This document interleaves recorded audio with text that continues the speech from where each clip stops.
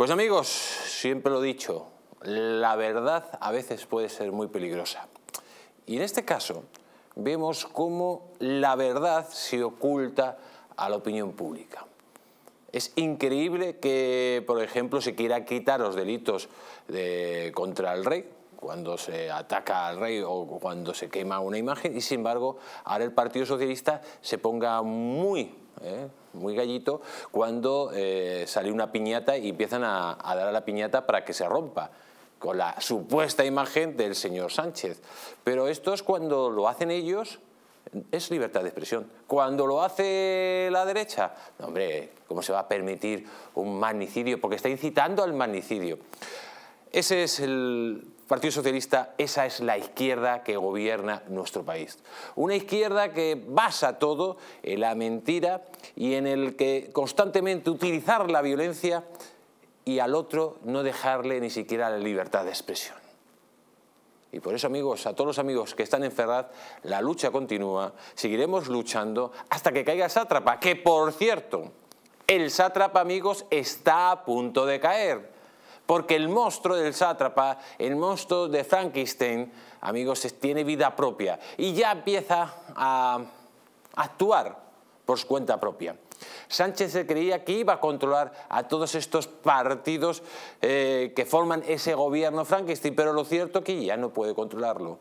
Junts va por su lado, Podemos va por el otro, los bilduetarras van metiendo la cerilla por otro, mientras que el PNV, amigos, empieza a ver las cosas cada vez más claras.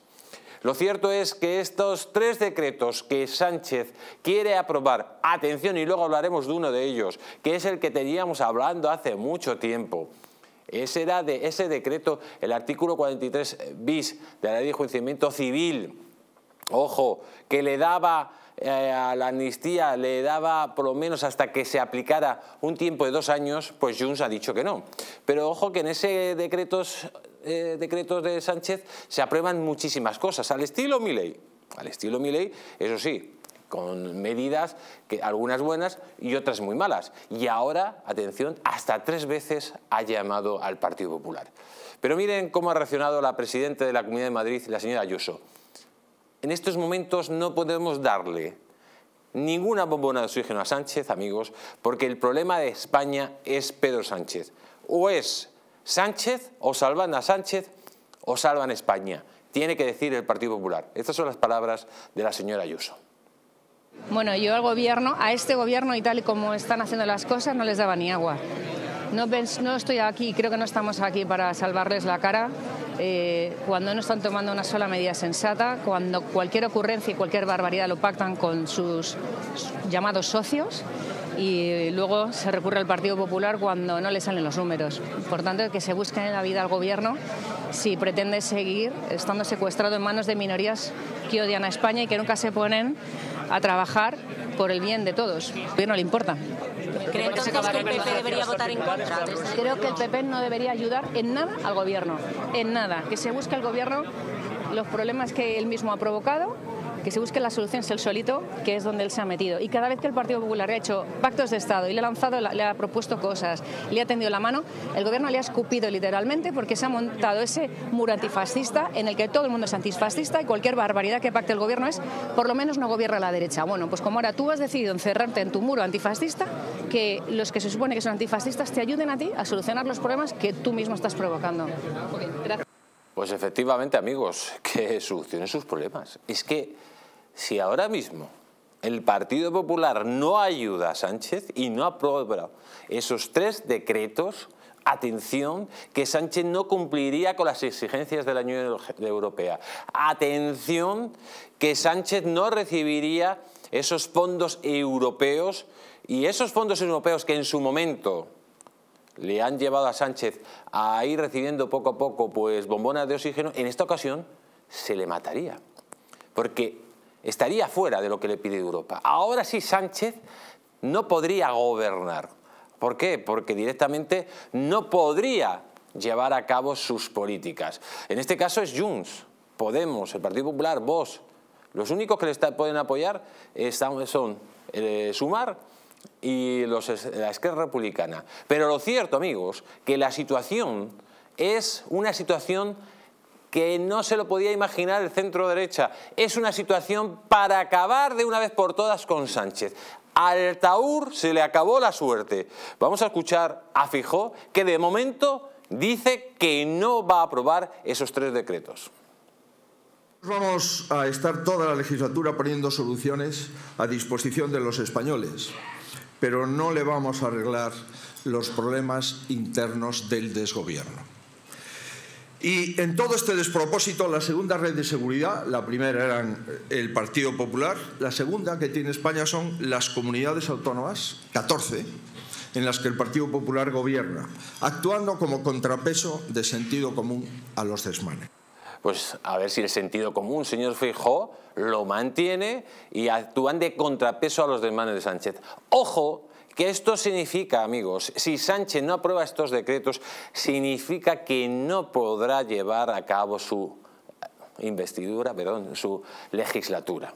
En definitiva, la situación, por momentos, se le está agravando a Sánchez. El monstruo ya anda solo, sin ningún tipo de control, y Sánchez ya no tiene capacidad para controlarle, porque Junts ha dicho que hay que negociar todos esos decretos antes de llevarlos al Congreso de Diputados.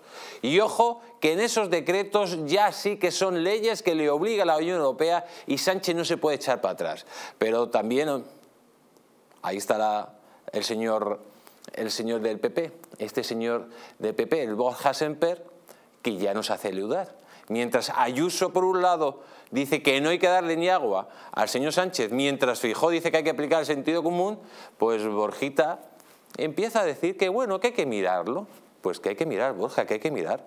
Que tenemos a Sánchez al pie de los caballos, que es el momento clave para tumbarle, para que la legislatura dure menos que nada y haya nuevas elecciones.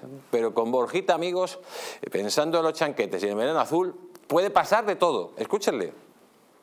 Abstención a las medidas económicas planteadas por el Gobierno en el supuesto de que fueran aceptados estas tres consideraciones. En primer lugar, deflactar la tarifa del IRPF a las personas con ingresos inferiores a 40.000 euros. Clama al cielo esta subida de impuestos que sufren las rentas por debajo de 40.000 euros si el Gobierno sigue recaudando y sigue sin deflactar el IRPF. En segundo lugar, bajar el IVA a la carne, al pescado y a las conservas que como ustedes bien saben también, porque hacen la compra, igual que nosotros, igual que yo, son bienes de primera necesidad. Y en tercer lugar, reconsiderar la subida del IVA a la luz y el gas, especialmente a las rentas más bajas. Si se cumplieran estos tres requisitos, nosotros estaríamos dispuestos a valorar la posibilidad de una abstención. Pero este hombre, amigos, ¿de qué estercolero le han sacado? Es que le falta un hervor.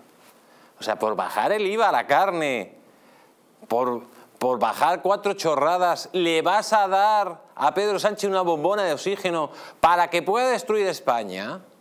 Pero ¿de qué planeta te han sacado a ti, chaval? ¿De dónde has salido? ¿De qué montaña de heces has salido? Pero esto, amigos, es una tomadura de pelo, que está Pedro Sánchez a punto de caer, que no hay que darle nada, ni un centímetro, porque se te remueve y luego te muerde, como dice la señora Ayuso. Si le habéis ofrecido mil pactos y lo único que os ha hecho es dar coces, si mañana os abstenéis, al día siguiente, al minuto uno, ya os está insultando y tomando el pelo y siguiendo con su plan de destrucción de España. ¿No te has enterado todavía? ¿No te has enterado que está la gente todos los días encerrada? ¿No te has enterado que han salido miles y millones de personas a las calles para protestar? ¿No te has enterado que los jueces han dicho que está dando un golpe de Estado? ¿No te has enterado que pasó en el Parlamento Europeo?